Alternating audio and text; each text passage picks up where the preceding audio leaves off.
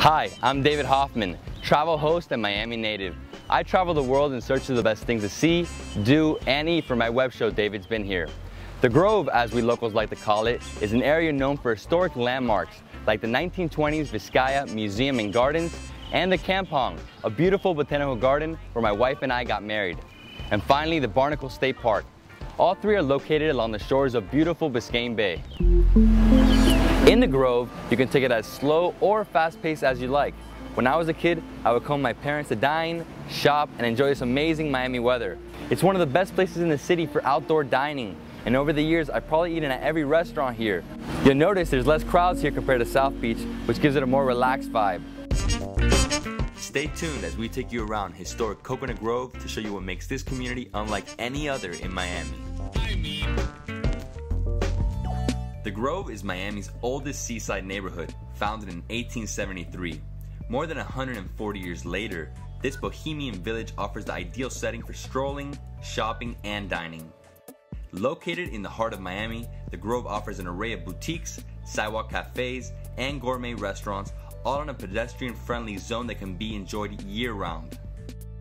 You can also enjoy the Coconut Grove waterfront by participating in free yoga classes in Peacock Park, paddleboarding, or heading over to Dinner Key for a boat ride.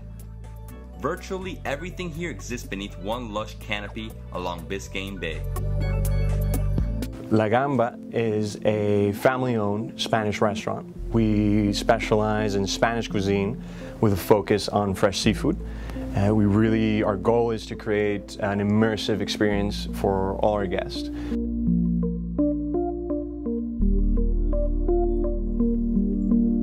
We fly all our seafood in from the best providers in the Mediterranean. We do this twice a week. We've uh, really become a reference point for uh, Spanish cuisine in the city of Miami and uh, a meeting point for foodies and experienced gourmets alike.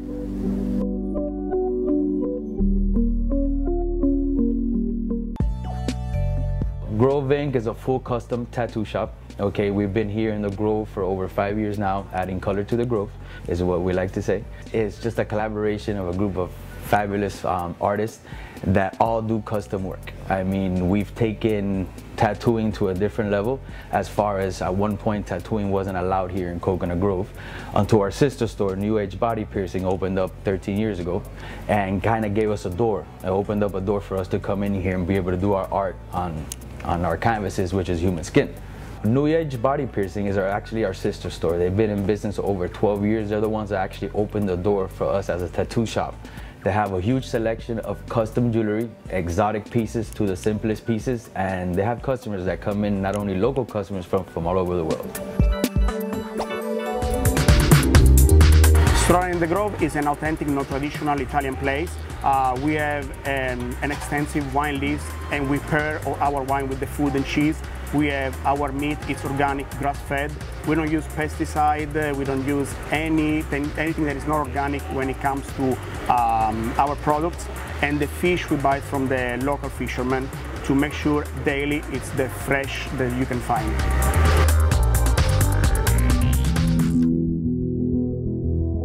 Vino's and the Grove's been here for three years now, and it's a very well-liked place from tourists and locals as well.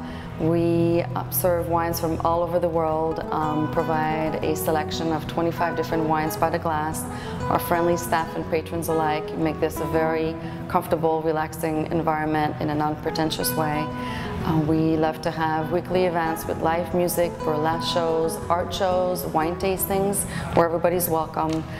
We complement our wide wine selection with meat and cheese platters and we welcome you to come to Vinos in the Grove. Here at Jaguar, we are a Latin American restaurant. We specialize in ceviches, but we have dishes from all Latin America. We have dishes from Colombia, we have dishes from Argentina, Peru, eh, Ecuador, all over the place. We try to make them with the authentic ingredients and we try to make them as they make them in those countries. This is what makes Jaguar uh, most exciting place because you have flavor from all over Latin America and we also use the ingredients that they use in those countries. So that's I think what makes our dishes so special. And also uh, a little bit spicy as well. But the ceviche is the most. You have to try the ceviches because that's what we're known for and we've been doing them for so many years. Ceviches is, a, is our passion.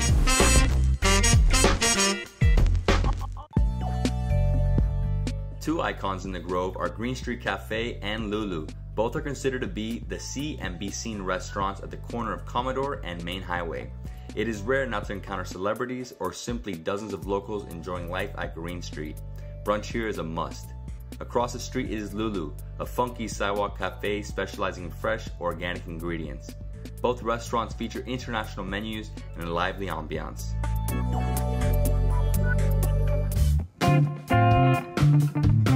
No visit to the Grove is complete without a stroll through CocoWalk, an outdoor shopping center and popular meeting point. CocoWalk features four floors of large open courtyards, premier shops, restaurants, cafes, and a movie theater. Located at the intersection of McFarlane Road and Main Highway, this is the true heart of the Grove.